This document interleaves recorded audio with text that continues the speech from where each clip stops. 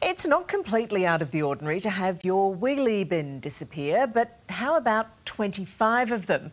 For a while, John was scratching his head, but now he says he's caught the culprits on camera and he won't believe who it was. It's like a magic show, John. It's like a magic show. Yes, You know? it is. It is. It is. Bins are disappearing. Bins are disappearing. Mate, I'm looking for Harry Houdini. Who's that? We usually have a problem with the bins getting lost from you know every couple of weeks or once a month. Well, what about David Copperfield? I'm looking for a garbo that makes bins disappear. Do you know him? No. These aren't just hunks of plastic.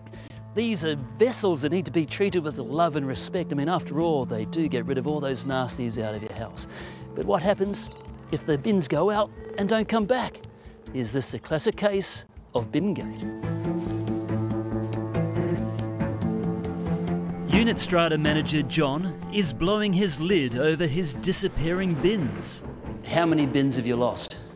I reckon the past four or five years, access of 20 to 25 bins at least. So he took a look at his CCTV.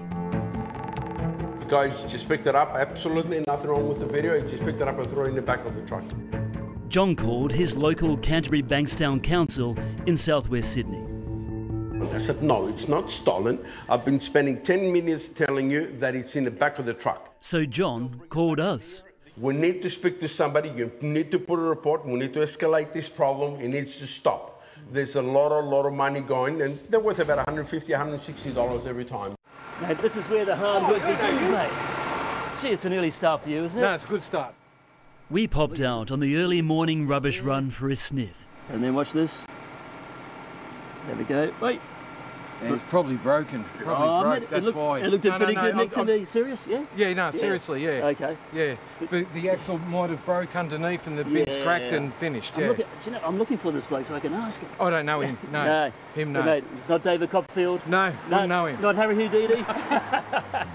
No, no, no. Perhaps this isn't an illusion after all. Perhaps a structural issue with the bins might have appeared. What's the issue here, brother? Is it how it's cracked? Oh, yeah, yeah, yeah. And then all the bin juices will start leaking.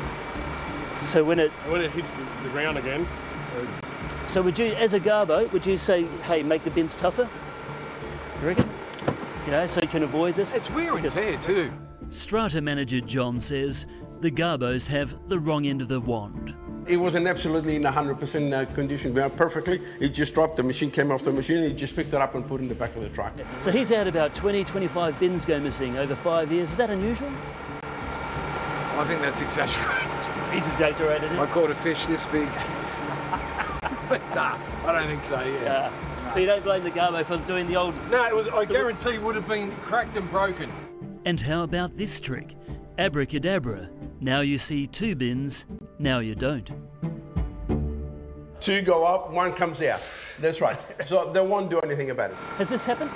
Two bins go up and only one comes back out. Yes, they can slip in. Yeah. All depends. Like the lip, yeah. If it's wet, raining, slippery, yeah. Rates have increased by over 12% around here. John says something stinks at the council and it needs to pull a rabbit out of its hat.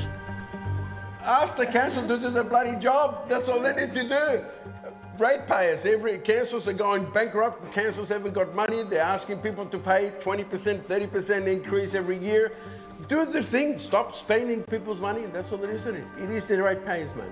It seems like we need to get some redesign going of the bins. What do you reckon? I'll go, but I'll go and ask for you. How about that? No worries. it's down, down to money. Comes down to money, that's right, a lot of money. Yeah, a lot of money to replace them too, I guess. Yeah, carry on, mate. Don't let me hold you up. Thanks very much.